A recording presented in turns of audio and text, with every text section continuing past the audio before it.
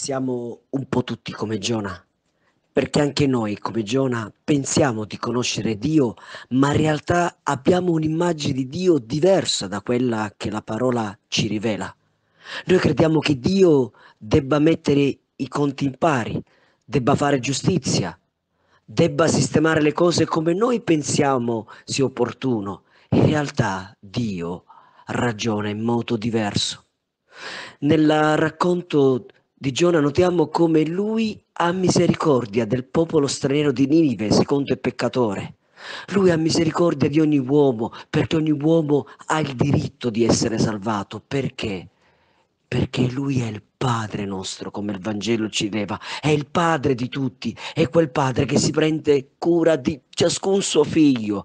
Anche la persona può, può aver compiuto il più grande peccato, ma Dio Padre sa che ha bisogno del suo amore, perché solo la paternità di Dio converte e cambia il cuore di ogni suo figlio.